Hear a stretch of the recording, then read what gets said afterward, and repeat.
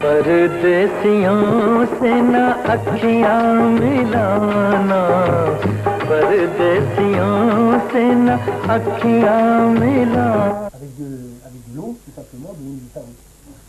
C'est plus facile que de laisser sécher. euh, Alors après, on essaie de faire une ligne, justement, pour pas couper la racine du fil. C'est relativement simple. hein. Voilà. Allez, tiens, couteau.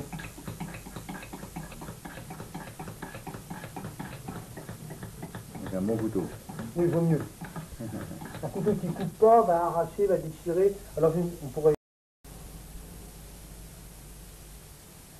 On essaye de pas couper le péritoine, c'est-à-dire de ne pas faire sortir les. Après, tout simplement, on décolle la peau au départ avec le couteau, en faisant attention pour faire des trous dans la peau là. Et après, le meilleur instrument, hein, les chirurgiens vous le diront,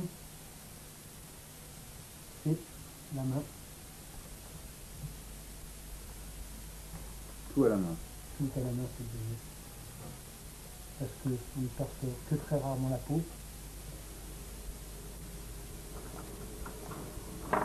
Voilà. D'accord. Et le gars, je remets. On peut s'apercevoir que c'est un produit qui était bien nourri quand même. hein. Donc ça laissera supposer qu'il faudra le dégraisser.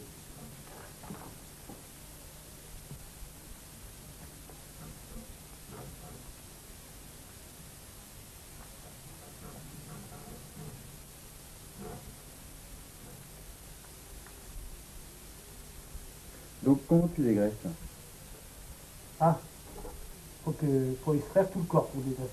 D'accord. Et il y a un sens qui va dans, les, dans le sens, pour pas couper, on va les verser dans ce sens-là, et remonter, partir de la colonne vertébrale, redescendre dans ce sens-là. Entendu? Ok. Et là, on partira de- de- d'ici pour redescendre comme ça.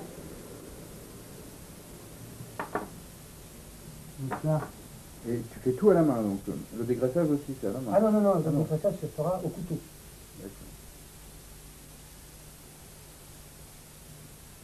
Va faut aller doucement parce que plus l'animal est gras, plus la peau est fine.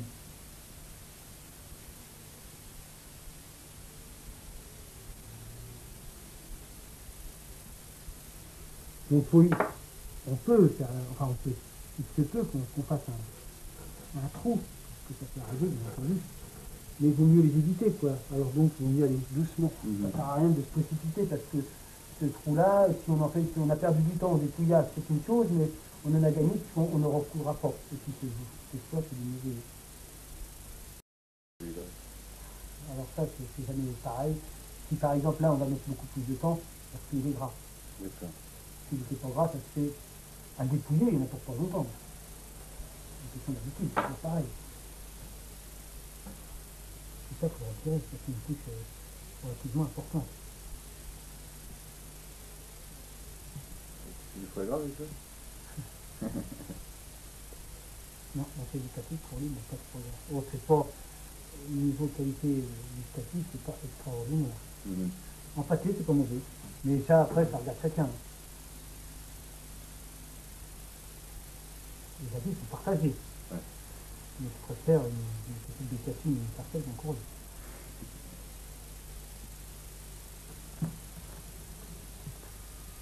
Alors, pour éviter de tacher l'animal, c'est pas très propre, voilà ce qu'on peut faire. Pourquoi la maïzena alors? Parce que ça, ça évite de, de coller au pulpe. C'est la maïzena qui absorbe. L'intérêt d'assouplir les, les articulations, voilà, c'est maintenant, et tout à l'heure.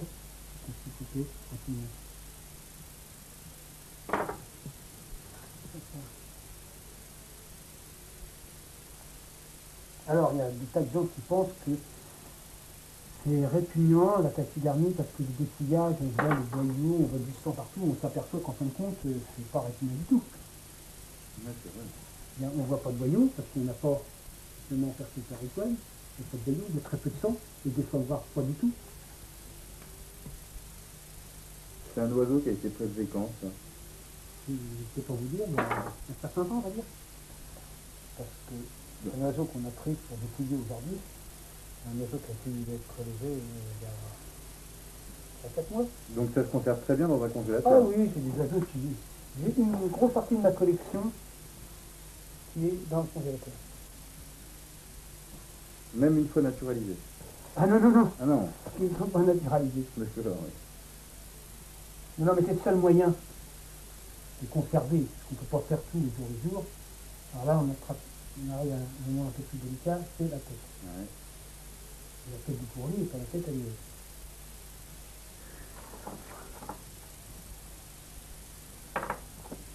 Là, faut être précis. Là. Faut avoir un bon, petit, faut avoir un bon petit couteau aussi. Oui.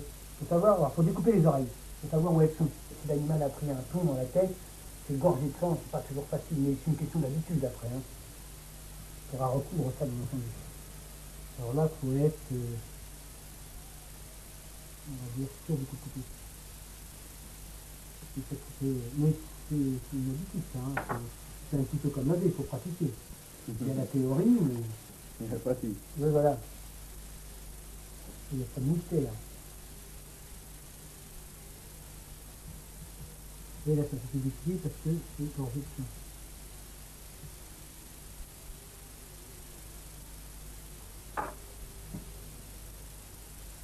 Voilà. La tête est dégagée. Le corps est là. Donc là, il va falloir. Alors, c'est peut-être fort. Au moment de. Voilà.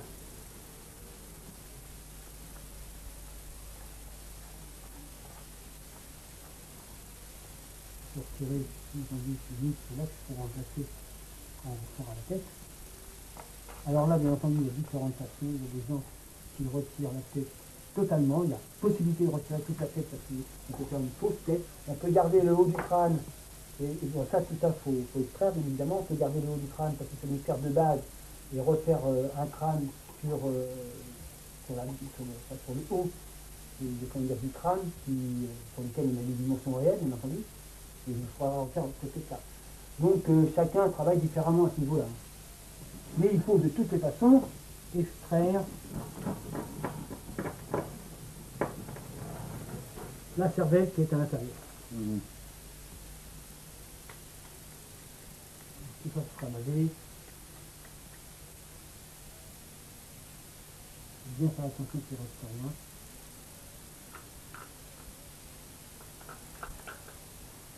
Voilà.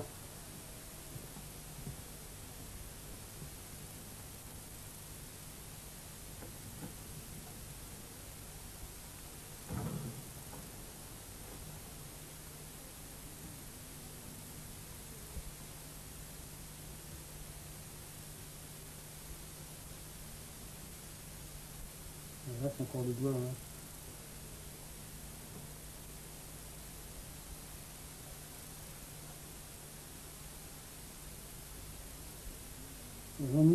Masque bien pour protéger les films, mais ça glisse après. Faire attention pour le crâne. Mhm. Voilà, donc on remet les choses en place. Il faut habituer, euh, particulier, euh, à remettre tout, en place pour pas faire prendre trop mauvais pied. Mais de toute façon, tout va aller euh, dans un bain pour nettoyer tout ça.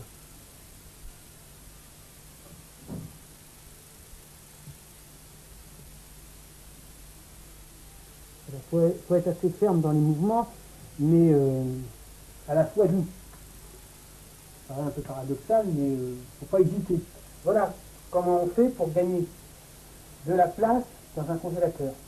D'accord. Et euh, c'est beaucoup moins de place que d'entreposer les oiseaux entiers. Et là, il est prêt à monter. Il est prêt à monter. D'accord. La fois qu'on a diffusé les pattes, euh, laver, diffuser les pattes et les ailes, bien entendu. Alors, une des manières pour exécuter un squelette, une des manières la plus facile, je pense, et la plus, la plus utilisée, sans doute, C'est quoi comme euh, fil de fer? C'est de galvaniser. D'accord. Alors, comment prendre les mesures en ce qui concerne un courrier, un chevalier? Ça, je suis incapable de vous le dire, parce que tout ça, ça se fait par automatiquement. Mhm. Je ne prends plus une mesure. euh, C'est l'expérience. euh, oui, on va appeler ça comme ça. L'habitude, à force d'en faire. Voilà ce qui va nous servir en colonne vertébrale.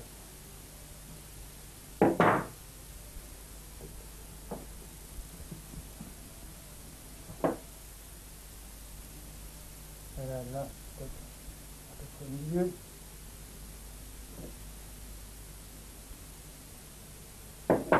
Le type de fer de soutien qui est la colonne vertébrale devra être au moins aussi costaud que les pattes. Ou les pattes au moins aussi costaudes que la colonne vertébrale. Parce que ce sont les pattes qui vont. Mais bien entendu, euh, faut que ça corresponde avec un diamètre qui va pouvoir passer au plus juste dans, dans les pattes. Alors bientôt on peut se poser des questions, oh là là, ça va nous donner quoi ça Ouais, c'est vrai. Alors il y a d'autres façons de travailler avec des corps qui seront faits en polyuréthane ou en mousse de polyuréthane ou en, en. C'est-à-dire on va refaire une sculpture carrément du corps. Alors c'est très pratique ça, c'est par exemple sur un canard qui est très gras. Puisque la peau va se relâcher, on va le dégraisser, elle va se relâcher. Donc c'est beaucoup mieux de faire ça avec une forme en mousse. Parce qu'on va pouvoir épingler et la, la peau va adhérer, se rétrécir un petit peu sur ce moule. Il y a, il y combien de temps que tu, tu fais de la taxidermie C'était à mon compte en 1984. J'en avais fait avant, euh, à mes essais, bien bien entendu, mais avant de se mettre à son compte, il faut dire qu'on en tant qu'amateur. Parce que sinon, faire depuis longtemps quand même. Dépouiller, c'est pas le bon côté du métier, évidemment. Faire ça, on commence à s'en approcher. Et après, c'est c'est la finition. C'est quand on commence à voir l'animal qui prend forme, bien évidemment, mais euh, c'est la fin du travail, quoi. hein. Comme dans toute œuvre. hein. Toute œuvre, c'est peut-être un, grand mot. C'est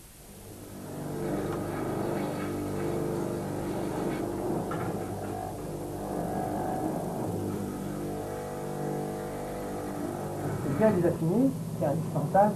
L'ennui, c'est que ça arrive quand même, qu'on arrive à transpercer ici et le doigt avec. Ah bon?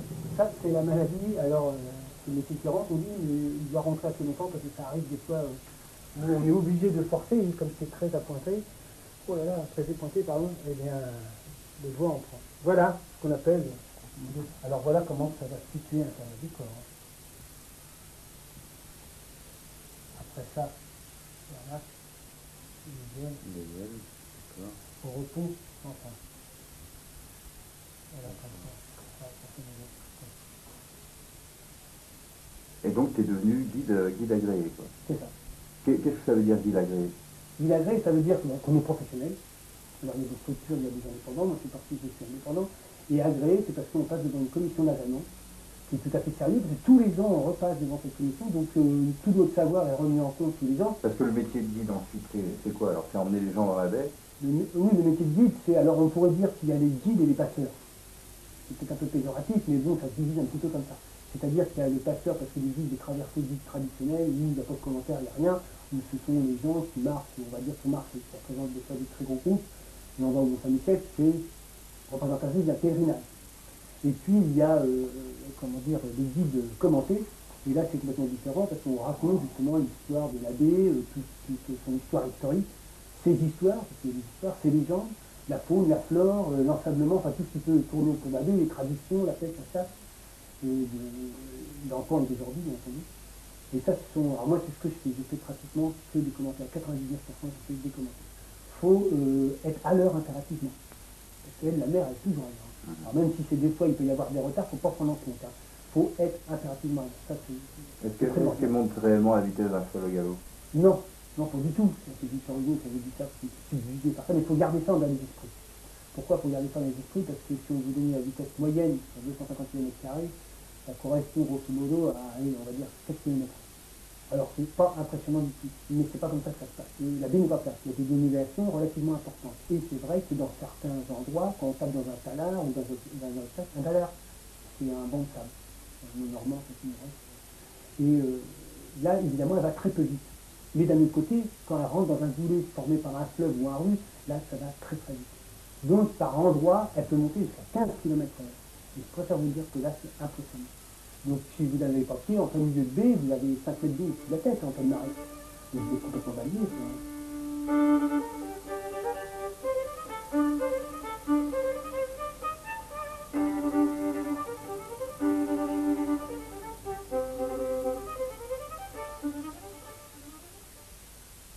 Donc ça c'est le produit fini alors. Ça, c'est le produit fini. Alors, une position qui, là, il est en train de changer. On aurait pu faire différemment. Combien de temps ça, ça a pris là? Combien de temps on a mis Je ne pas du tout, une heure et à peu près. Pour faire ce qu'on a fait, bien entendu, euh, il faut euh, reste tout, tout laver, de la mise en forme. Alors des fois ça peut aller très vite parce parce qu'on a fait justement tout ce travail primaire très très bien, ça fonctionne très très bien. Et ensuite on est sur des avions qui sont plus ou moins donc il faut recoudre, euh, dégraisser, laver deux, trois fois ça, hein. Qu'il faut le rendre plus propre, le sang c'est pareil, donc il faut le laver une fois, fois, une fois, fois, enfin, là c'est encore pareil, il faut un petit peu. Et puis il y a toute la technique, on, on met les yeux en même temps ou après, ça c'est une technique de chacun. Il des gens qui remettent les yeux qu'à la fin. Euh, donc euh, les, les têtes en cardiaque, donc à ce moment-là, évidemment, on met les, les yeux en même temps. Il y a tout un travail de finition, hein, euh, il y a une journée de travail par oiseau, plus le travail de finition, repeindre les pattes, repeindre le bec, euh, refaire le tour des yeux, une espèce de maquillage si l'animal était un peu détérioré pour diverses raisons. Alors bien entendu, c'est plus intéressant parce qu'on s'approche de, la finalité et puis on a quelque chose en face de soi qui ressemble euh, à quelque chose loin, évidemment. Et qu'au départ, euh, on a une dépouille. Alors évidemment, mais c'est la satisfaction de, de la dépouille, de l'animal mort, de côtoyer presque un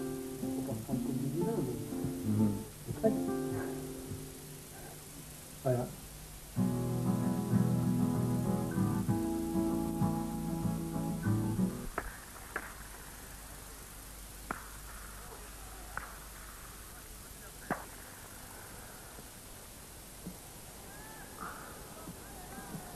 Apple. Apple. Apple.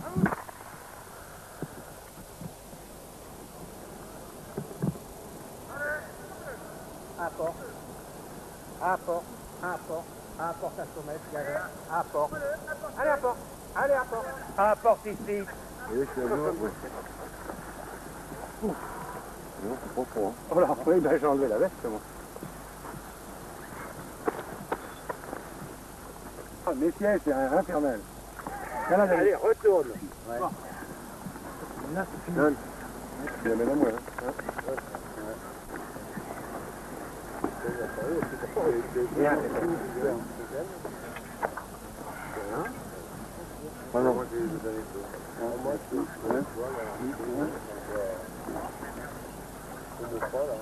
c'est ça. Ah, posé.